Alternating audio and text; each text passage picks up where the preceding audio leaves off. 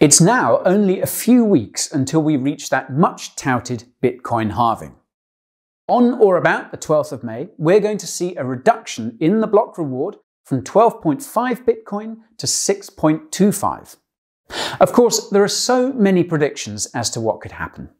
From stock to flow models and talk of new Bitcoin moons rising, there is no shortage of theories. However, during this excitement, we have had two separate halvings, those of Bitcoin Cash and Bitcoin SV. So, what exactly happened, and can we make any predictions about the Bitcoin halving from these events? My name is Guy, and in this video, I'll be answering just that. And if you watch till the very end, then you will get my personal insight on where I see Bitcoin going post halving.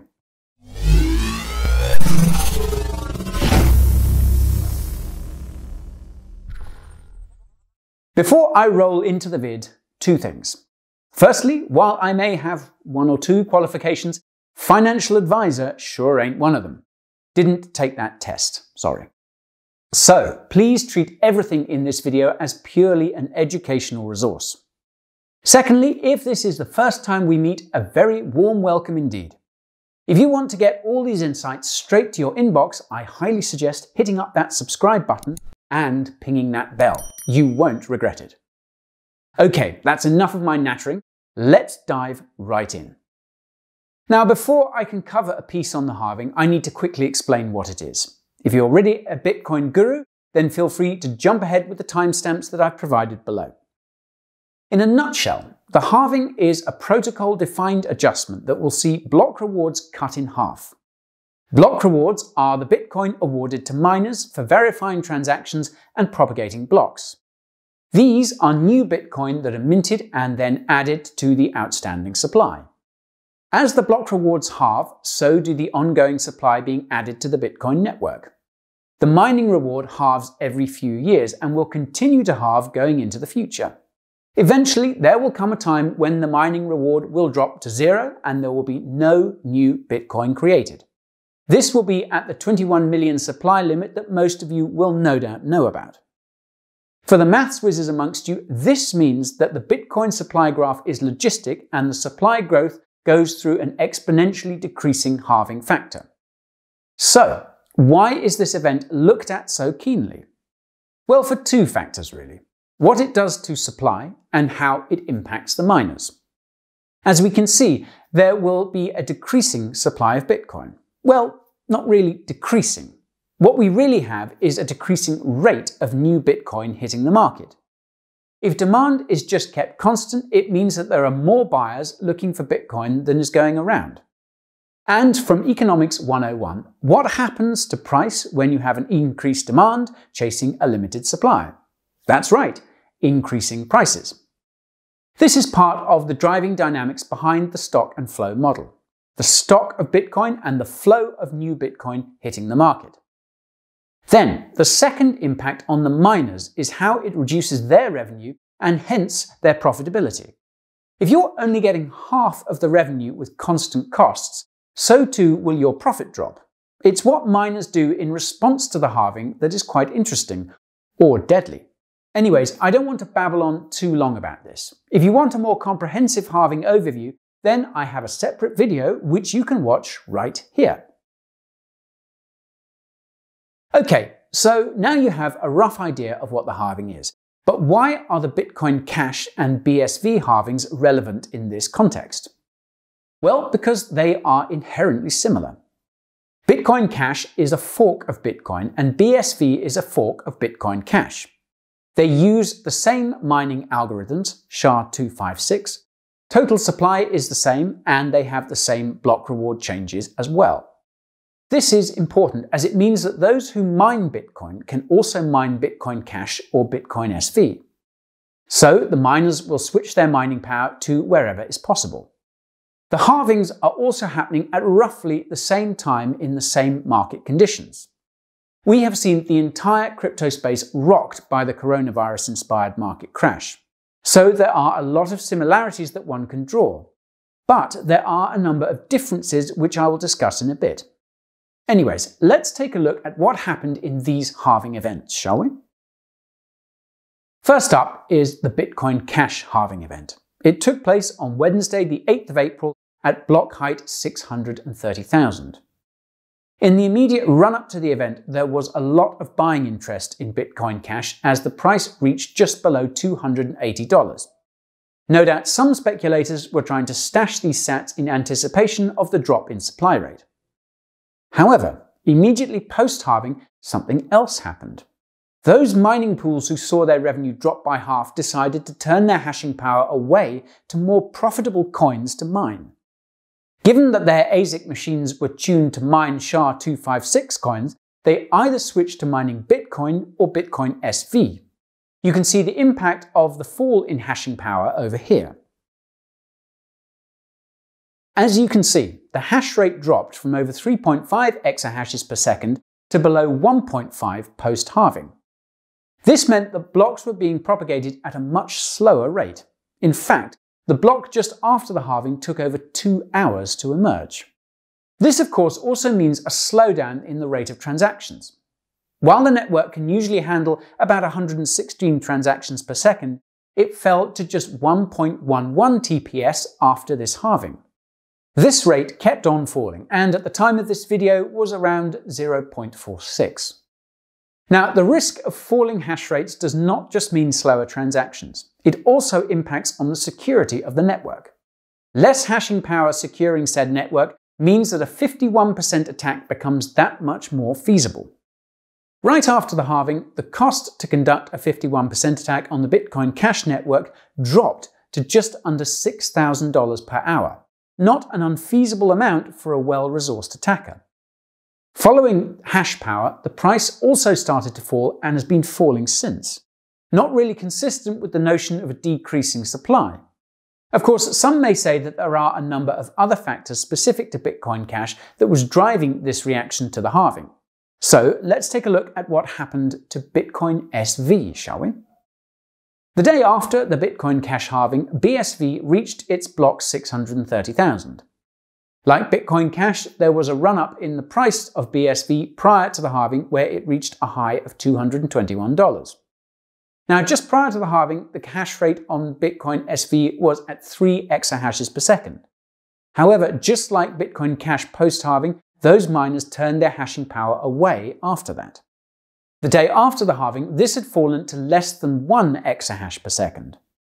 This then drove the cost of conducting a 51% attack to below that of Bitcoin Cash at only $4,000. Of course, less hashing power also had the impact of driving down the block propagation speed and hence the transactions per second. And just as Bitcoin Cash had seen a decline in price post halving, we experienced the same with Bitcoin SV. Indeed, both price declines would have been consistent with the theory of many in the crypto community that price follows hash power. Now, it's worth pointing out that hash power appears to have picked up a bit more since then. We've seen an increase in the cost of conducting the 51% attack as well as an increase in the transactions per second. This is mainly due to inbuilt difficulty adjustments. As hash power drops, so does difficulty, which is an incentive to bring on more miners. Bitcoin Cash block propagation has been seesawing between a block every hour to one every two minutes. Some have even said that large mining pools are gaming the custom difficulty adjustment. And hash rate is still far below where it was prior to the halving, and those prices continue their lackluster performance. So, quite the opposite of the rally that many had hoped for. It's also worth pointing out that a similar thing happened to Litecoin last year. There was a rally in the price prior to the halving, which quickly retraced post halving. So, given that we have three different examples of halvings that were anticlimactic, can we infer anything to the upcoming Bitcoin halving? That is the 21 million Bitcoin question. Now, while one may want to draw parallels between these, there are a number of specific factors that could be different when it comes to the Bitcoin halving. Yes, the protocols are similar and the halving events will be happening at about the same times, but Bitcoin is still a much more popular cryptocurrency. Irrespective of where you stand on the battle of the Bitcoins, the original Bitcoin remains the most well known and garners the most interest. Over the past few months, interest in the Bitcoin halving has eclipsed that of Bitcoin Cash and Bitcoin SV. Just take a look at this halving tweet volume for Bitcoin versus the forks. And it's not just retail and media interest in the event. It remains in the portfolios of nearly every crypto focused hedge fund or crypto whale. It's hashed by nearly every big mining pool and farm in the world. So, quite simply, there is a lot of money backing Bitcoin. Money and hash power. Take a look at this graph of the hashing power on Bitcoin versus on Bitcoin Cash and Bitcoin SV. Over 110 exahashes per second are securing the network. It really is stark. Of course, when block rewards halve, it will no doubt have an impact on the profitability of mining Bitcoin and securing the network. There will be miners who cannot afford to hash anymore and will switch their mining machines off. However, I don't seem to think that the hash rate fall will be as precipitous as that of Bitcoin Cash or Bitcoin SV. Some may think it's more profitable to mine Bitcoin Cash or BSV immediately post halving, but the vast majority who can still afford to will continue to hash it out. What makes me say this, you ask? Well, just because it's been like that. Before any halvings, it was quite clear that the miners overwhelmingly chose to hash Bitcoin. Let's pull up that hash rate graph again. There have been many occasions where mining Bitcoin Cash or Bitcoin SV was profitable, and sometimes more profitable than Bitcoin. Some may jump ship, most hold steady. Those who jump ship realize that they have pushed up the difficulty on the fork and then come back into the fold and get back to mining that digital gold. So this leads me to conclude that the fall in hash power is likely to be nowhere near as precipitous on a relative basis compared to the likes of Bitcoin SV and Bitcoin Cash. Now, having said all of that, I do think that we will see a hash power fall of some sort. Many of the marginal miners will not be able to keep up with the cost of production and they will switch off those machines. How big of a fall? Hard to say. However much it is, I don't think it's likely to be that sustained. Let's also not forget about those difficulty adjustments. Bitcoin's adjustment mechanisms are likely to be a lot more consistent than the seesawing we have seen with Bitcoin Cash. As the difficulty comes down, hash power could come back online and we could see a recovery of some sorts. There is, of course, precedent for this, given that we have a previous two halvings under our belt. Here is the graph of the hash power post the 2012 halving, and here it is post the 2016 halving. Slight dip post 2012 halving, but nothing to write home about. Miners were brought back to the table when the difficulty adjusted, and the upward march continued. Now, I know that most of you are interested in the price, and I hope I am not making a hash of this video. Get it? Hash of this video? Sorry, just had to throw that one in there. But understanding the hash power dynamic is important to determine the factors at play post-halving. On to the price though. If you subscribe to the hypothesis that price follows hash power, we could see a fall in the price of Bitcoin immediately after the halving. However, as hash power starts to return post-halving, the price could reverse itself. Then you also have to think about the supply and demand dynamics taking place.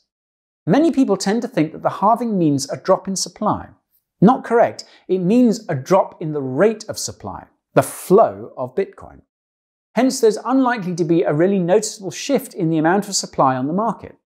It will take some time before the slower rate of supply is being chased by a fixed demand growth. But why postulate? Let's pull up the price action post the previous two Bitcoin halvings mentioned above. Here you have the price of Bitcoin immediately after the 2012 halving. As you can see, prices were pretty range bound for at least two months before they started really picking up two months after that in early 2013. Then, taking a look at prices post the 2016 halving, it even falls for most of the month of July. However, in the middle of August, the trend is reversed and prices start their rally. This was, of course, the start of the 2017 rally a rally that I'm sure you all know about pretty damn well. So then, what do I think is likely to happen in this halving? Well, I think a lot of the price action post halving will be driven by what happens in the next few weeks prior to it.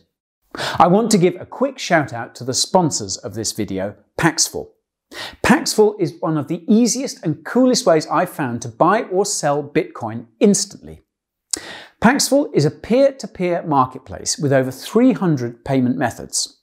This includes some truly crazy options like gift cards for World of Warcraft and Amazon, to cash in the mail, or even phone top up cards. Over 100 e wallets are also supported, including the likes of PayPal and WeChat Pay. To get started on Paxful today, go through to the link in the description.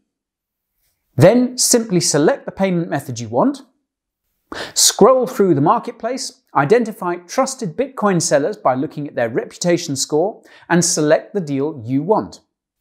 Finally, key in the amount of Bitcoin you want to buy, and you're done.